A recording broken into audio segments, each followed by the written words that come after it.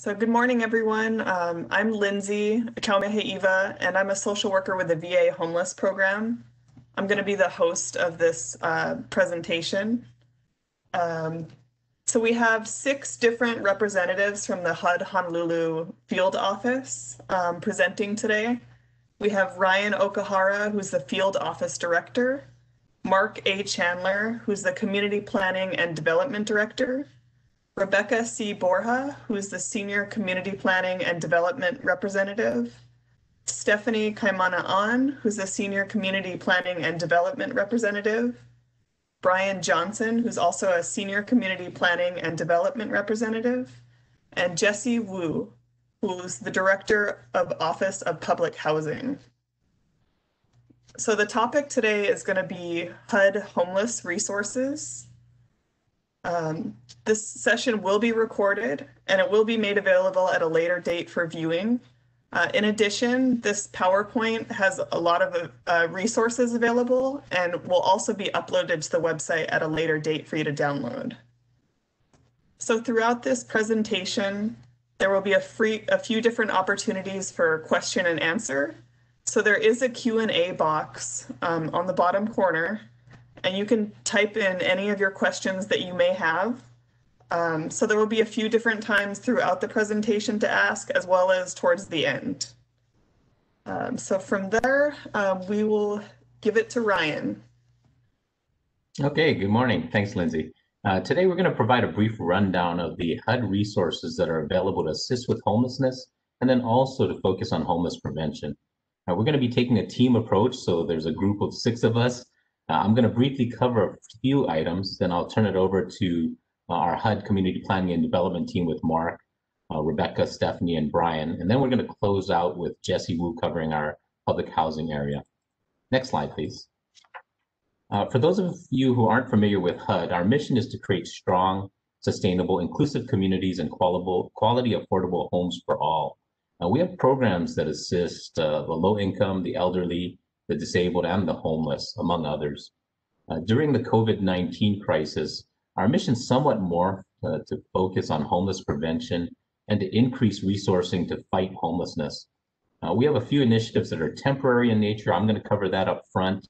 And then we have a lot of programs that are longer term in nature, although in many cases this year, they received additional funding as part of the uh, Coronavirus Aid, Relief, and Economic Security Act, or CARES Act.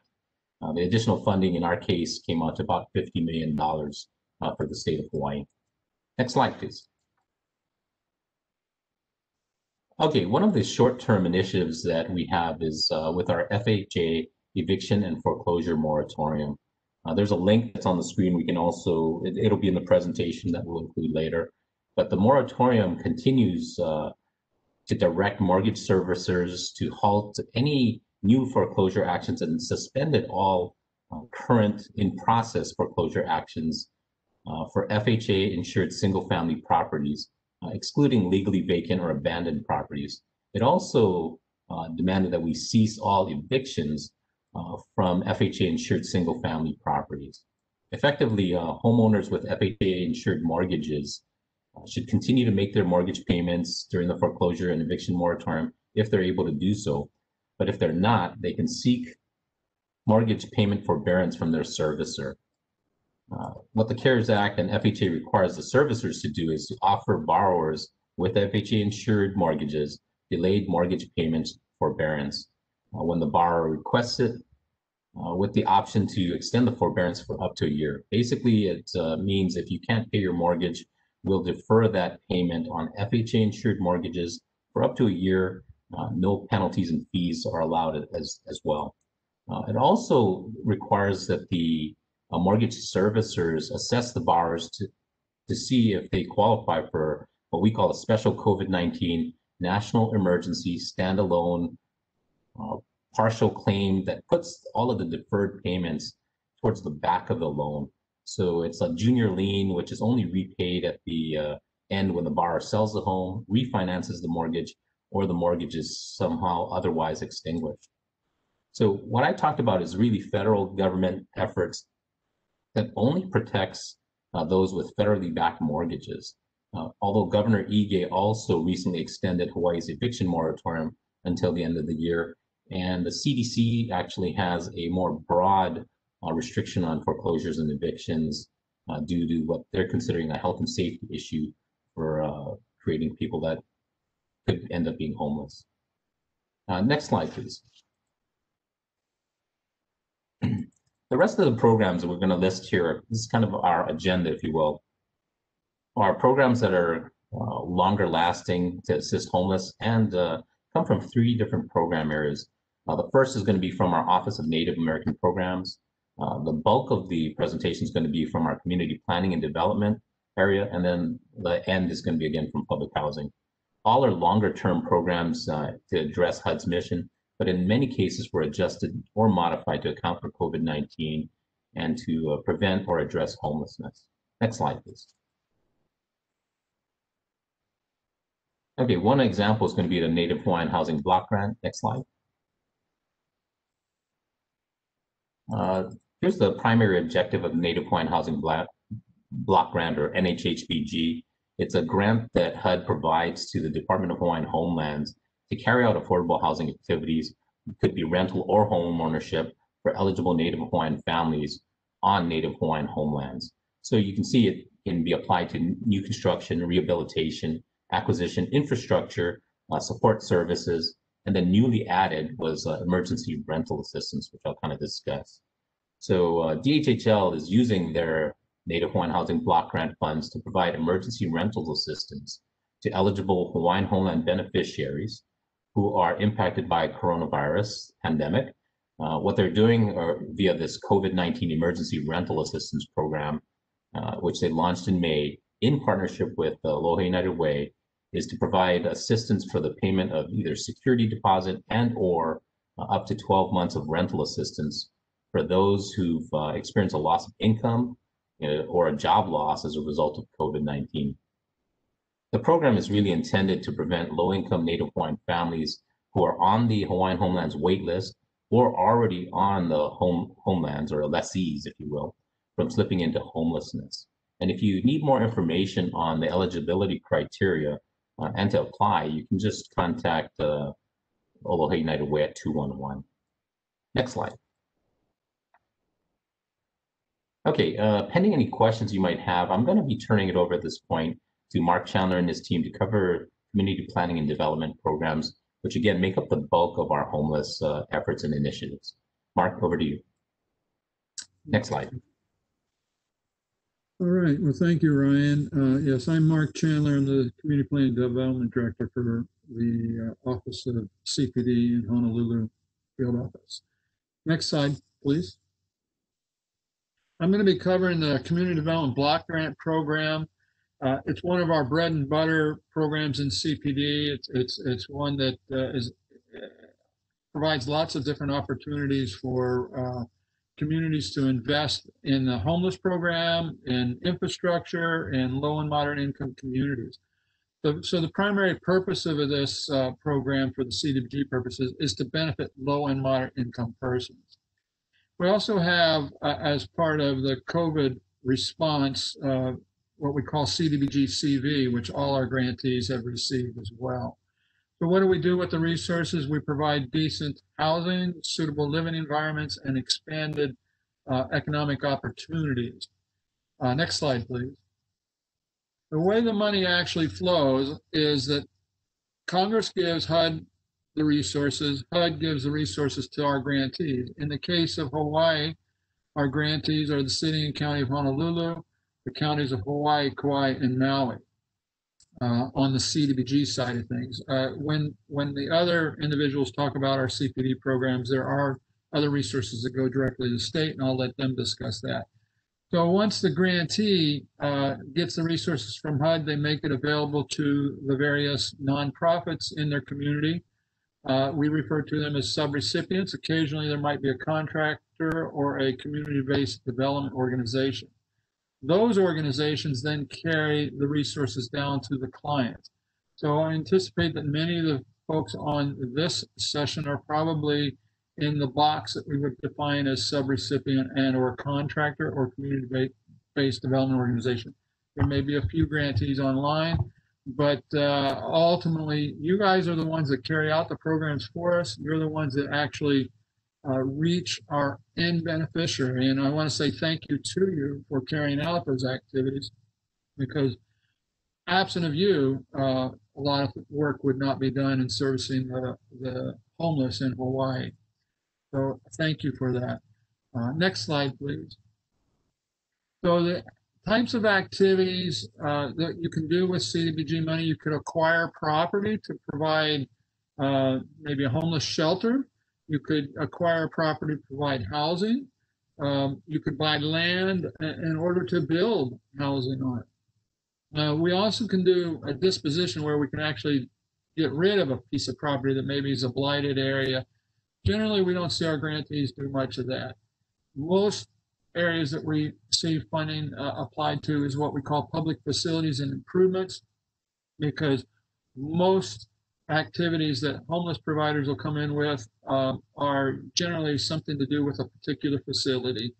So, uh, and as long as that facility is open to the general public and, and the and low and moderate income persons, that's why we classify it as a uh, public facility. Then we've got the clearance activities we can do. The next activity that we see a lot of homeless providers participating in is our public service uh, activities. Generally, if you're looking for operating dollars to operate your program, it's going to fit under a public service function. But when you work with the grantee, in this case, say the city and county of Honolulu as an example, you would be working with the city to fund a public service activity in most cases. Under the CV money, we've seen a lot of assistance through interim assistance. Interim assistance is uh, where our grantees have elected to use some of their CDBG CV to provide temporary rental assistance. In the CDBG program, unlike uh, some of our other programs, we can only do temporary rental assistance generally up to three months. Uh, but that's generally where we'll a lot of times see interim assistance uh, being provided. Uh, uh, or it'll be under the public service depending on what it is. Also, interim assistance may have to deal with um, a natural uh, disaster, for example. Uh, housing services, uh, if some of you guys on this call uh, or this session are housing counseling agencies, oftentimes you may fit under, under a housing service activity. And then we also have, uh, clearly we can help in down payment assistance for home ownership. Uh, City and County Honolulu runs a great program uh, on uh, home ownership assistance. their program generally runs out of money very quickly. So if you have uh, uh, individuals that you're aware of that are low and moderate income, I suggest you contact City and County Honolulu and consider that program as potential assistance for home ownership, especially in Hawaii given our costs. And then micro enterprise, uh, those are basically uh, economic development activities to help small businesses. Next slide. Uh, rehabilitation, what oftentimes we see is housing rehab, uh, rental housing rehabilitation. Occasionally we'll see code enforcement. Uh, very rarely, but occasionally we'll see historic preservation with CDBG money. Lead-based paint uh, uh, is another rehabilitation activity we can see. Uh, commercial rehab uh, is rare in our program, uh, but is an opportunity. Again, those of you that are on this session are probably primarily looking at ways to deal with housing the homeless. Uh, one of those activities we would anticipate you would potentially seek resources from a grantee would be for homeowner rehabs and or rental rehabs. Next slide, please. So how do we achieve the requirements that Congress set on us? Uh, Congress set what we call national objectives. So there are three methods by which we can meet national objectives. The primary method is uh, those methods that you see circled in green uh, on the slide presentation, which is assisting low and moderate income persons. We can either assist them by an area benefit, or we can assist them on a limited clientele uh, benefit. Generally, most of our homeless individuals qualify through a limited clientele. And other activities and national objectives or that can be achieved by low and moderate stance would be in the housing and or job uh, creation, uh, job opportunities. Uh, there are also opportunities rarely used on this, what we call slum and blight. Uh, generally, a grantee has to define an area in order to be qualified as slum and blight. We don't have any slum and blighted areas designated in any of our Hawaii jurisdictions. Um, but if a grantee should do that, then there would be opportunities for that. And the final area uh, that Congress has given us an opportunity to use is urgent need. Uh, we are seeing under under the COVID response under CDBG-CV occasionally some usage of the urgent need, which means that you can actually assist some uh, over and above the low mod status. Again, low mod status is 80% of area median income or less. Uh, we're not seeing a lot of use of that because it's uh, very easy right now to meet more of the low mod status, which is the primary area of uh, our national objective. Next slide, please. Any questions on the CDBG program? I know it's a quick overview. We, uh, because there's so many pieces that we want to present, uh, we wanted to uh, make it quick, but if you have specific questions, please ask now.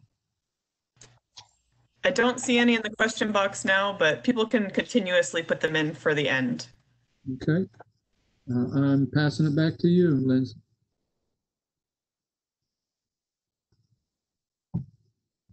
So um, this is Rebecca Borja. I'm a senior CPD representative at the HUD Honolulu field office, and I'm going to be talking to you today about the HOME program and about how the HOME program can be used to address homelessness um, here in Hawaii. So next slide, please. So the goal of the HOME program is to provide decent, safe, sanitary, affordable housing for low-income people. Next slide.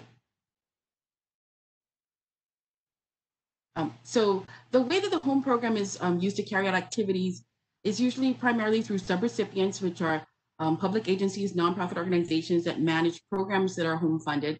For example, a home funded tenant based rental assistance program or developer that's carrying, that can be a nonprofit organization or for profit organization that's using home funds to create affordable housing.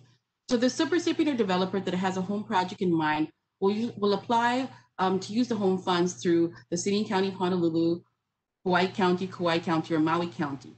In the case of the city, the city is a direct home grantee, so the city will then submit its action plan to HUD to access those home funds. The counties are not direct um, grantees with, with HUD for the home program, so they will then submit their plan to the state of Hawaii, and the state of Hawaii will submit an action plan to HUD to access those home funds. So the most recent, the current allocation of home funds that is out there in your community right now is fiscal year 2020. That's HUD fiscal year 2020 money. So it usually takes about a year um, for, for the monies to go from HUD out to um, the cities and the, and the state. And that's why it, even though it's technically their fiscal year 2021, it's HUD 2020 money. Um, that always confuses our grantees. Um, we do that on purpose. No, I'm just kidding. So, um, so the the way the amount of home monies that's been allocated to um, Hawaii for fiscal year 2020, um, Honolulu received about $3.9 million in home funds, and the state of Hawaii received $3 million. Um, next slide, please. So the home program is really four housing programs in one, and that's because you can use home to carry out four different types of projects. For example, homeowner rehabilitation, uh, home buyer uh, projects, rental housing development, and tenant-based rental assistance. So today, because this is the Homeless Awareness Conference, I'm going to be focusing on rental housing development and tenant-based rental assistance because of those primary types of activities uh, that where home funds are used to assist um, the homeless. Next slide, please. So rental housing development. So home monies can be used in rental housing development to acquire. So it can be used to acquire um, vacant land. It can be used to acquire an existing uh, rental housing project.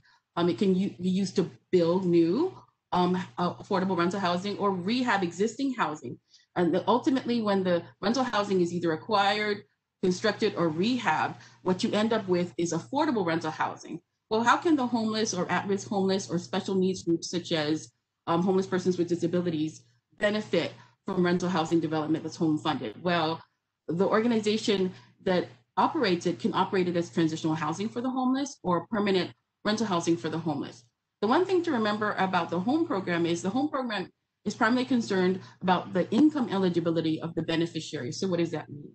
So this little, um, uh, in the slide, you see this little house and it, it has 10 units in it. And this is a, an example of the income limits requirements. So in the home program, all households that are uh, assisted and live in um, home rental housing units have to be at or below 80% area median income. Um, and don't worry about the, the, that 80%, 60%, or 50% that I'm going to talk about. Just know that HUD has income limit tables that uh, break out by, by household size what that income, what that 80% income limit looks like. Um, so in if you have a, a, a 10 unit affordable rental housing development that's assisted with home monies and the entire project is 100% home funded, what you'll what you'll what that means is that all of the units, so in this case 10 units, will have to be occupied by people at, at or below 80% um, area median income. But the home, home program also has rules that we call the home project and a home program rule. And what that means is that 90% of the of the units of the home units, or in this case, nine units in a 10 um, unit project, have to be occupied by people at or below 60% of the area median income, and two units or 20% have to be occupied by people at or below 50% of the area median income. Um, next slide, please. So when the home program um, for rental housing development is combined with the, the continuum of care program, what does that look like? Well, the goal is to develop, so in this case, because home is developing the affordable rental, develop service enriched housing with rents because the home subsidy is there are significantly below the market levels and um, provide permanent rental housing to people after their more immediate needs of homelessness are addressed through emergency or transitional housing. The home develops the transitional housing or the permanent um, rental housing and the COC program, um, if the project is specifically developed for homeless, you know, a COC program can can use program funds to operate, so for operating costs, to cover the, the cost of services to residents, or to provide uh, rapid rehousing, short or medium term tenant-based rental assistance or project-based rental assistance in a home-funded housing project. So those are the ways that home and COC can, can be combined when you're doing rental housing development. Um, next slide, please. Next slide, please. Thank you. So tenant-based rental assistance is another uh, type of, uh, ooh, one more back, sorry. So tenant-based rental assistance is another type of uh, project that you can fund with home money. Um, and when we talk about tenant-based rental assistance under the home program, we, it can be a general community-wide TBRA program. It can be a TBRA program that's combined with self-sufficiency. It can be TBRA targeted for special populations, for the homeless, at-risk, uh, special needs groups like homeless persons with disabilities. Um, not only can you use, um, when you do a home TBRA program, you can use it to fund the rental assistance part, but you can use it to provide security deposits or utility deposits the the goal the idea here is that every tenant that receives home tenant-based rental assistance has to be at or below 80% of the area median income and 90% of all households that receive TBRA have to be at or below 60% of the area median income. Next slide, please. So when a home TBRA program is combined with continuum of care, how does that work? Um, well, when somebody is transitioning, for example, from an emergency sh um, shelter or transitional housing program in, I'm sorry about that, into permanent house, affordable housing, and they're using home TBRA uh, to provide the rental assistance so they can afford the housing. And they've graduated from a transitional housing program, for example, that it was COC funded. They can continue to receive supportive services from that COC funded program that they graduated from for up to six months so the first six months that they're in home TBRA, they can still be receiving support services. The idea is that the first six months might be a little rough for them, and the and the COC program is there with supportive services to help them um, maintain stability um, in that permanent housing. Um, so next slide, please.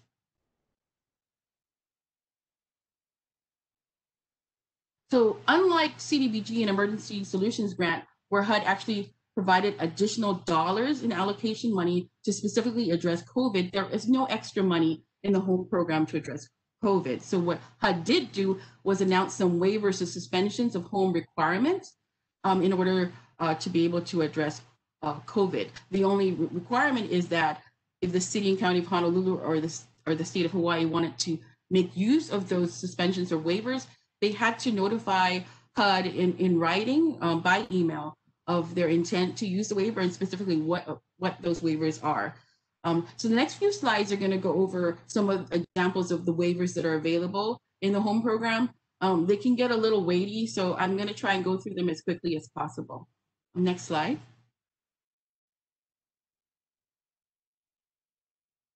Okay, so examples. So um, for home tenant-based rental assistance programs, right, the cost of administering the rental assistance has to be covered under with home admin dollars. Well, home administrative dollars are normally capped at 10%, but with uh, the um, the waivers and suspension, HUD is waiving the 10% um, um, admin cost cap and increasing it to 25% of, of, of, the city or the state's home allocation for 2019 or 2020. Um, another way they want to maximize the flexibility of funding for COVID response is that normally the home program requires that, that uh, the state and the city set aside at least 15% uh, of their the funds they receive for the home program each year to carry out a CHDO development type project. Um, the point of this waiver is you don't have to worry about what, what CHDO is, but the idea is that they don't have to do that anymore. So if the city or the state have home funds that are set aside for, to carry out a CHDO activity that's from their 2017, 2018, 2019 to 2020 home allocations, they, they now they have an opportunity to reprogram those funds to carry out another activity to address COVID. And that activity could be affordable rental housing. It could be it could be tenant-based rental assistance for the homeless to address uh, COVID. Next slide, please. So uh, these these uh these waivers right in, on this slide are primarily of interest to an organization that's a, a, a, grant a home grantee because we we reduced the match requirement um, from 25% to zero um, for any home funds are expended all the way up until September 30, 2021 um, to address COVID. Um, if the state or the city decides that they want to reprogram some monies to address COVID and particularly to address COVID for the homeless, that public comment period is reduced from 30 to five days. So uh, I guess the important thing for you is that it's a shorter period of time uh, to turn around and carry out a home funded pro project. Um, next slide, please.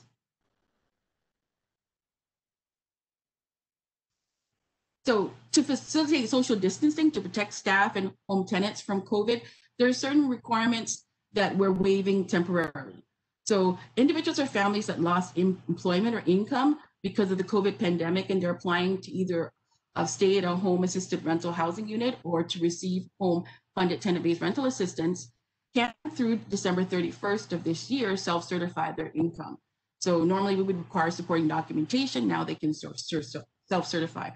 The only thing is that if that is done, then um, within 90 days after the end of the waiver period, so on or before March 31st, um, those um, the organizations that use the waiver will have to conduct an on-site rent and income review. Um, we've also extended the time frame for communities to consult uh, for um, grantees to conduct on-site inspection of um, home assisted units and income and rent reviews um, that are required before December 31st. Now they have until April 30th, 2021 to conduct those physical inspections of those housing units. Next slide, please. Um, also to facilitate social distancing and protect home, home staff and home tenants, we're extending the time frame to conduct annual quality standards inspections of units or units that are occupied by recipients receiving home TBRA um, through December 31st of this year, um, with the caveat that the, the inspections will have to be conducted within 120 days of the end of the waiver period or on or about April 30 of 2021. Next slide, please. Uh, so the next few slides, they deal with if facilitating emergency tenant-based rental assistance. So if a community um, doesn't have emergency, um, doesn't have a home current current home TBRA program, then all of these uh, things will apply. We, you have TBRA programs here in Hawaii through the city and county of Honolulu and the state of Hawaii. So these slides, uh, I don't think really uh, apply to you. I just wanted to put this information in here so you're aware about facilitating emergency TBRA. Um, next slide. This is more information about emergency TBRA. Next slide, please. Um, next slide. Keep going, next slide. So um, all this information will be provided to you as a, as a handout. I'm told that it will be posted um, somewhere and you'll, you'll receive instructions on where you can get a copy of these slides. All the information I skipped over, you'll be able to read on your own. I wanted to show you an example of home funds that were used to address homelessness um, right here in Hawaii. So the Sea Winds project on the Waianae side was developed by Housing Solution, and it includes 20 units that are studio that are short-term transitional housing for the homeless, and 32 bedroom um, town homes that are permanent affordable rental housing targeting the homeless families. The whole project was uh, cost about $14.8 million, and Home contributed about six $6.3 million to this. So the um, so the point of this is that um, you know, if you find that there's a need for affordable rental housing, like the, uh, the supply of affordable rental housing is not sufficient to address homelessness, then there is an opportunity to partner with your state and with your city and with your counties to develop develop affordable rental housing targeted to the homeless, um, and to do that with home funds. Does anybody have any questions? The next slide will be questions. I don't see any at this time, so just keep moving. Okay, so I just want to reiterate what Mark said. I want to thank you all for what you do, um, so directly serving the homeless. You know, we are steps away from it. We we are able to contribute funding and provide technical assistance and training, um, but in the end, the money isn't worth anything if the people that are implementing the prog programs don't do a great job. So thank you for the great job that you do.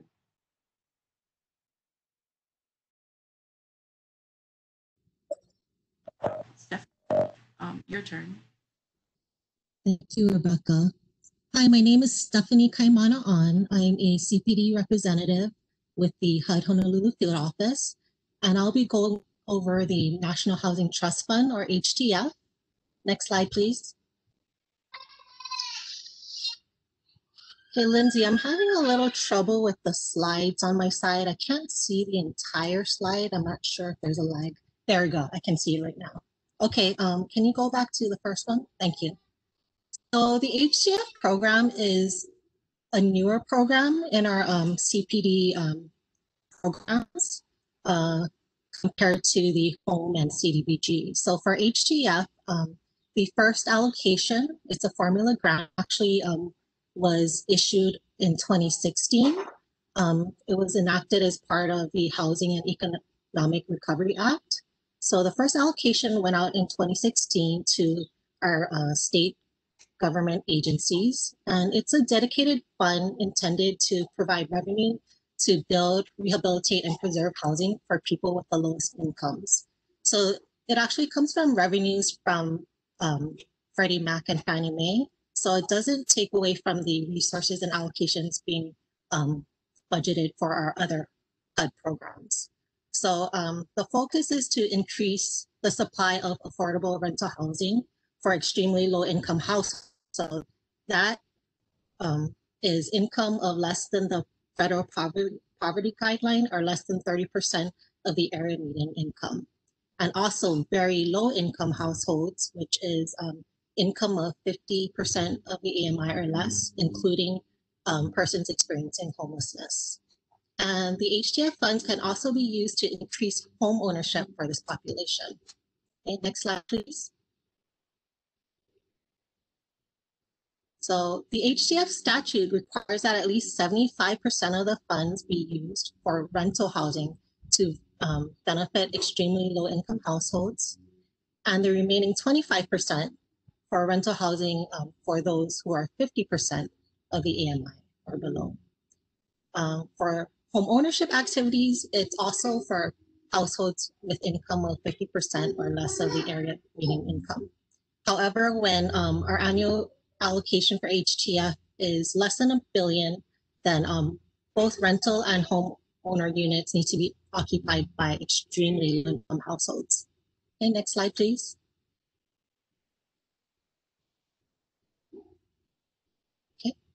So at least 90% of the funds need to be used for the production, rehabilitation, preservation, or operation of rental housing, and up to 10% may be used for home ownership activities for first-time home buyers.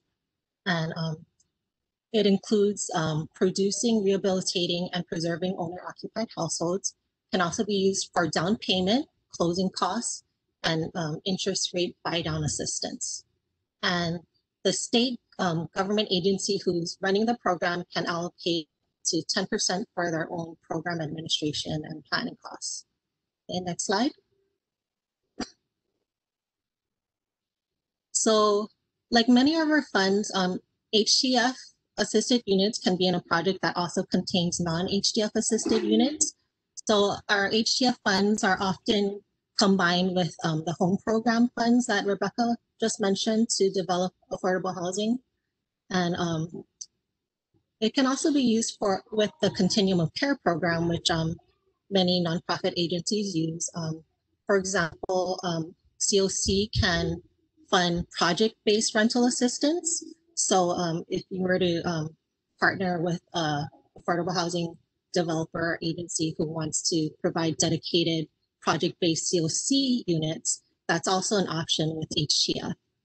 And um, HTF can also be used to buy or rehabilitate manufactured homes or to purchase the land on which a manufactured home sits. Um, property can also be bought or demolished, but only if it's tied to a specific affordable housing project. And the HTF assistance can be in the form of a grant, a loan, deferred payment loan, or equity investment. Next slide, please.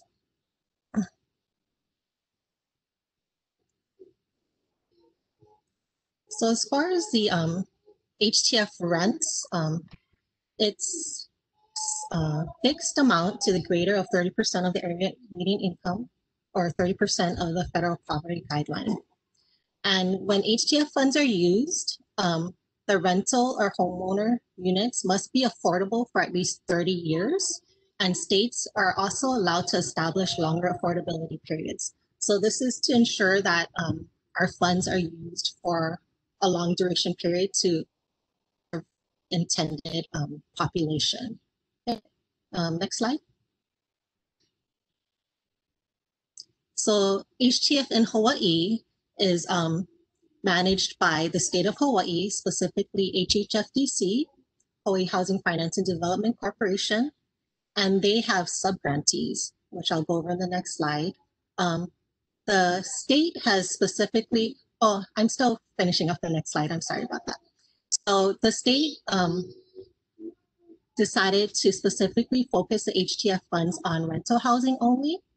Um, so since 2016, HHFDC has received an annual allocation from HUD of $3 million for HTF.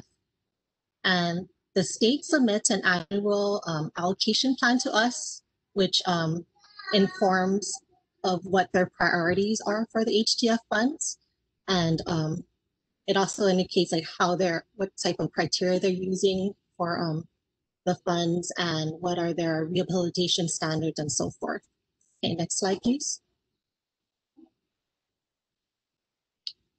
So the state has um, decided to use subgrantees, so that's units of local government. So the state issues um, the HTF funds to the city through the Department of Community Services. And for the County of Hawaii, it's um, Office of Housing and Community Development.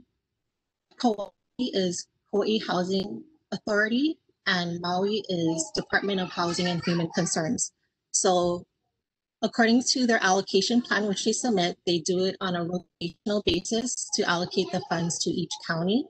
And um, if interested, you can go to the link to see um, the state's annual allocation plans to see what um, their priorities are for the funds. And there's also opportunities through during the year for um, people in the community to give their input on what they think the funds should be used for. Okay, next slide, please. So I wanted to share a few projects in which HTF funds were used. Um, HTF funds um, are being used to um, develop affordable rental housing. So one is Honey Hale in um, the city and county of Honolulu. So this is actually a nonprofit that used HTF funds. Mental Health Kokua used it to acquire a nine-bedroom single-family dwelling unit in Honolulu, and five of the nine units um, will be used to um, provide um, housing for extremely low income, single unrelated homeless adults with serial, serious mental illness, excuse me. So yeah, this is a great example of a nonprofit um, using the HTF funds. And um, another project is Kaloko Heights Affordable Housing Project on the County of Hawaii. So this is for the construction of um, two and three bedroom affordable rental housing units in Kailua Kona. And six of these units will be HTF assisted to serve households with incomes of 30% or below the area min- income. And 5% of the units will be set aside for eligible families that are experiencing homelessness, at risk of becoming homeless, or transitioning out of an emergency shelter or transition, transitional housing program. Okay, next slide, please.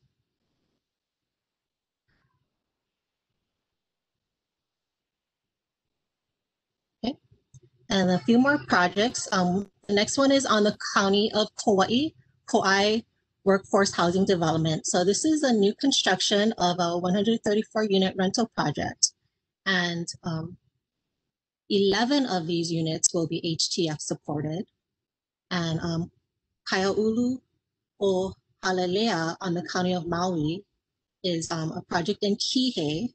So this will be a 72 unit um, project of which seven of these units will be HTF assisted, serving families with extremely low incomes of 30% or below the median income. And finally, Hale Makana O Maili in the city and county of Honolulu is a um, new construction of a 52 unit rental housing project in Waianae, in which five of the units will be HTF assisted. Okay, so I just wanted to share a few um, ways that the HTF funds are being used in Hawaii to provide um, affordable um, housing and how um, some of them have been um, used to assist persons experiencing homelessness. Okay, next slide, please.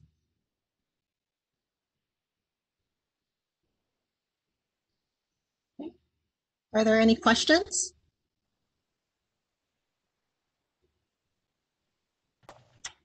So someone asked if the program would apply to persons who are not very low income, specifically for persons that are unable to meet down payment for purchasing a property. Okay, um, so in the case in Hawaii, um, the state has focused the HTF funds on rental housing. So it um, sounds like this question is specifically for home ownership activity. So in the case of HTF, um, it wouldn't apply. Did I um, understand the question correctly? I think so. We can have him ask again. Yeah, he says thank you. Okay, thanks so much. Are there any other questions?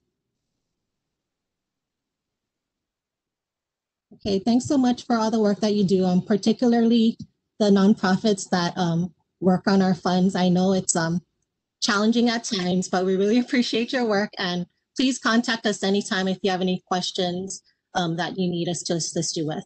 Thank you. Okay. My name is um, Brian Johnson. I'm a senior CPD rep here at the Honolulu field office. Um, I'll be going over what we call our HUD homeless programs specifically. Emergency Solutions Grant, ESG, Continuum of Care, the COC program, and HOPWA, Housing Opportunity for Persons with AIDS. Next slide. Next slide. And next slide. So right here, I have the allocations that were for 2020. This is for the state of Hawaii. And you can see the regular ESG is 454,000. Then the ESG CV1 and CV2. CV1 is 1.5 million. CV2 is 8.4 million. And then the regular HOPWA formula is 268,000. And then on the CARES Act, the HOPWA formula CV came out to 39,000. Next slide. And here's the allocations for Honolulu, the city and county of Honolulu.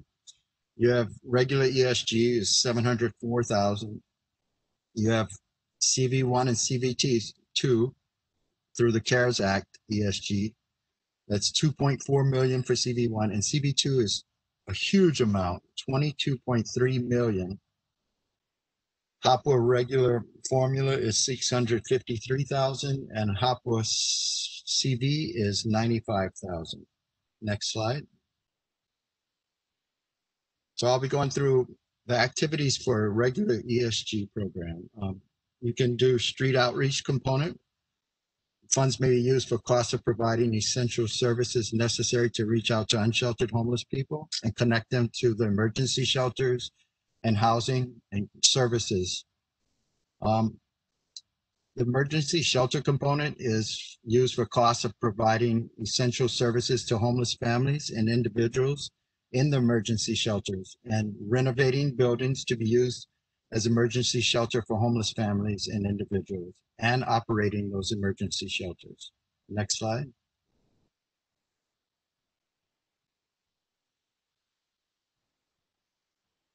Next slide. Oh, sorry, back. Yes, homeless prevention component. ESG funds may be used to provide housing relocation and stabilization services.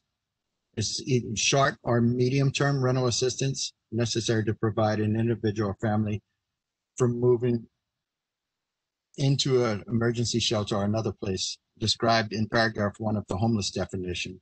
And you can look in the regulations of that definition of at-risk homelessness.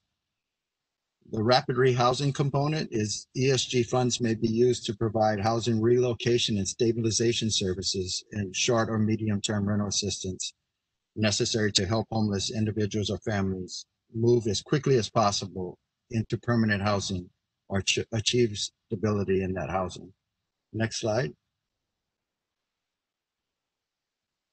And going into um, housing relocation and stabilization services, this is where the ESG funds may be used to pay housing owners, utility companies, and other third parties for the following costs. That's rental assistance and rental arrears. The financial assistance is the rental application fees, the security and utility deposits, utility payments, last month's rent and moving costs. And then the services, the housing search and placement, housing stability case management, landlord tenant mediation, and tenant legal services and credit repair. Next slide. And for the rental assistance, the short term and the medium term, um, it's up to 24 months of rental assistance during any three-year period. This assistance may be short-term or medium-term and payment of rental arrears or any combination of this assistance. Short-term is for up to three months of rent. The medium-term rental assistance is for more than three months, but not more than 24 months of rent. And payment of rental arrears consists of a one-time payment for up to six months of rent in arrears, including any late fees on those arrears. And rental assistance may be tenant-based or project-based. Next slide. The HMIS is a component of the grant that may be used to pay for the ESG fund. I mean, maybe for the paying of the HMIS for the continuum of care of that area. And so this is ESG. ESG does allow for this. And it's the purchasing or leasing of computer hardware, purchasing of the software licenses, purchasing or leasing equipment, including telephone line, fax lines, uh, furniture, obtaining technical support, and leasing office space. Next slide.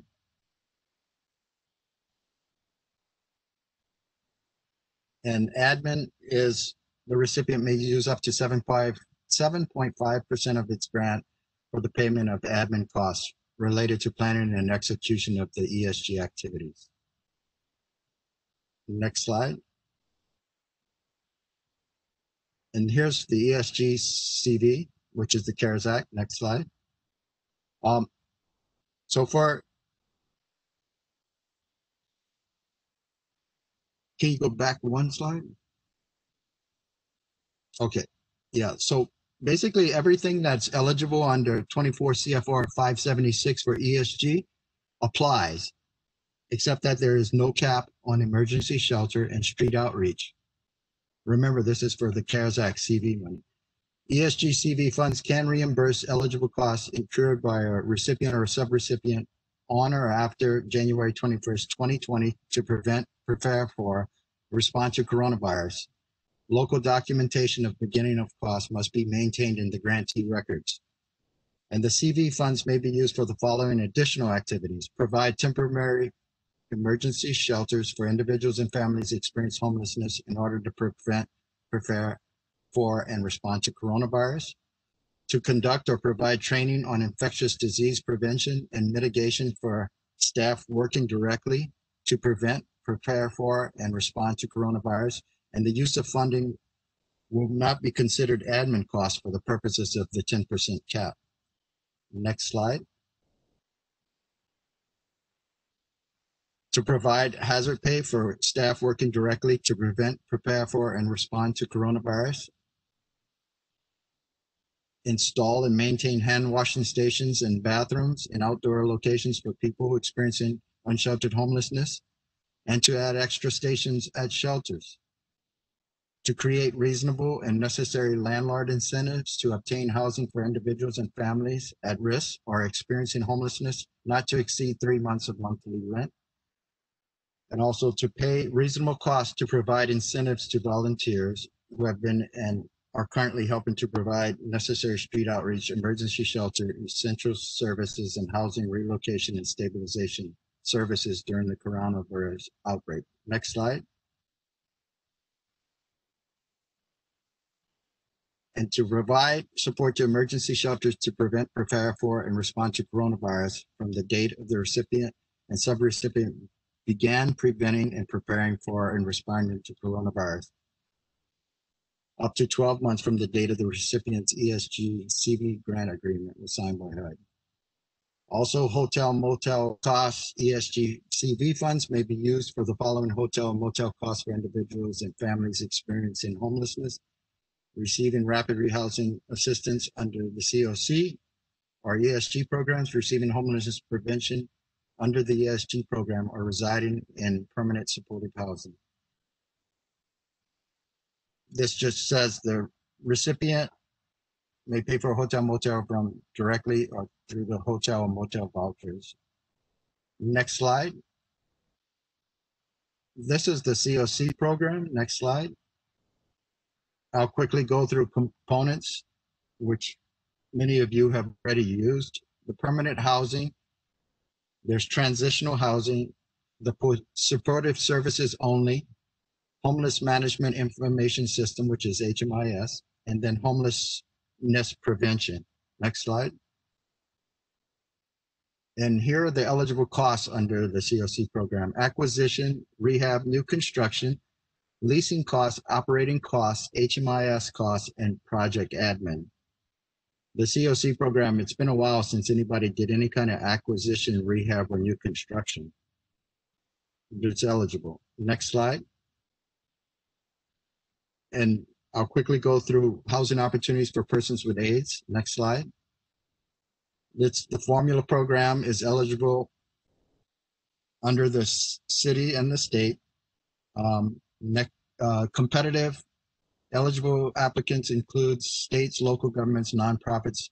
Awards are based on competitive applications. Next slide. And basically the components are may be used for a wide range of housing, social services, program planning, and development costs.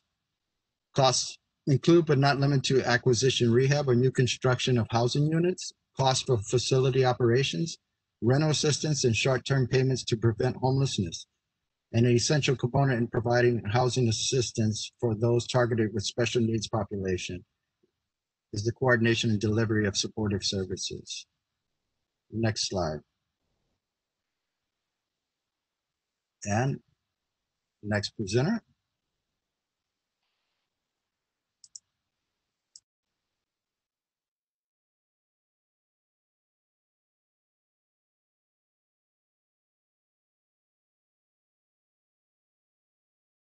Hi, Jesse Wu here, Director of Public Housing. Uh, go ahead and um, let's skip the next slide.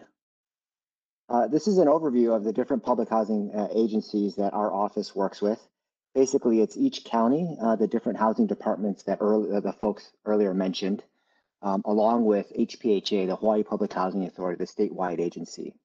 Um, I won't get into all the details here and data, but why don't we just go ahead and skip um, two slides into my last slide and talk about some homeless initiatives. So it's fairly uh, infrequent that our office uh, gets new funding, and the new funding that's available these days uh, are targeted at a couple of specific population. One of them is are those um, kids uh, exiting the foster youth um, uh, program, and it's a partnership between um, the Child Welfare Services along with our housing authorities. And there are two existing partnerships that happen right now that are in place. One with Hawaii Public Housing Authority serving um, foster youth on Oahu, and then Hawaii County is a new agreement that uh, just happened last month. In both those circumstances, if there are kids uh, finishing um, and matriculating out of foster youth, uh, HUD will have um, can allocate vouchers to help uh, those folks so that they don't go homeless as they leave the program. The other program that I'll mention, and this has been a while, I've been around for some time, it's uh, the VASH program, the Veteran Supportive Affairs Supportive Housing Program. It's a partnership with the VA um, where individuals who have, would meet the requirements in terms of their military service and background, um, work with the VA and get referred to our housing authorities, again, to get vouchers. Um, this program, um, all counties are participating. So if there are, you know, folks in any area statewide, uh, that assistance is available. Next slide. And I think that's it. If there's any questions, I'll feel free to take questions. Otherwise, I'll go ahead and maybe pass it on uh, for closing remarks. Thank you.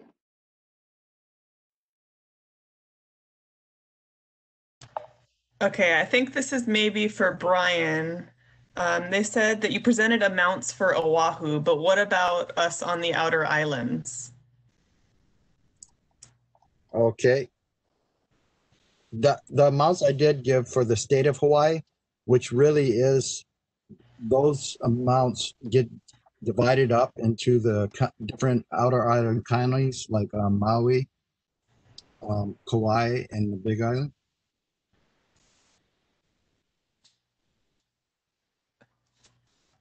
Okay, thank you. And so, then, um, bas- so sorry, basically, yes, the um, ESG is um, through the state of Hawaii, and that's for the not Honolulu, but for the other county islands. Okay. okay, and then someone wants to know, how do we access the application fees assistance? What agency or point of contact uh, to access these services?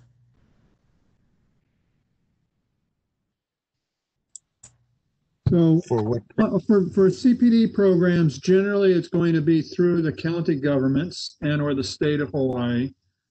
So uh, for CDBG, home, well, we'll start with CDBG. CDBG is going to be through City and County Honolulu, Hawaii County, Maui County, and Kauai County housing agencies.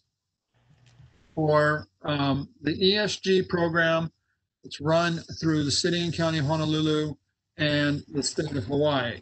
They allocate monies to various nonprofits within your communities. Uh, so if you want specific uh, application processes, you would need to go to one of those two counties for the ESG. HOPWA is the same as ESG.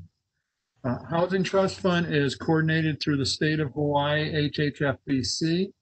They allocate resources to the counties on a rotating basis in most cases and uh, you should contact HHFDC to determine the cycle for which county is going to get the money in a particular year.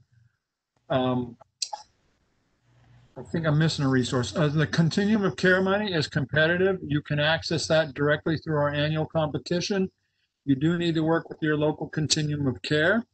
So for the neighbor islands, Hawaii, Kauai, and Maui, you work through what's called bridging the gap. And uh, for uh, Honolulu, you work through Partners in Care. And for public housing, I'll let Jesse Wu give you that information. Uh, yeah, you would reach out directly to each of the public housing agencies at the counties or at the state. Thank you, Mark and Jesse. Um, so we just want to thank all the panelists for presenting today. There was a lot of great information. Um, again, uh, this presentation will be posted at a future date, uh, the recording as well as the slides on the website. Um, you can also uh, go to the conference webpage after this to find links to other panels and closing plenaries. I pasted the website into the chat box, so you can click on that. Um, and I thank you all for participating. Everybody have a great day.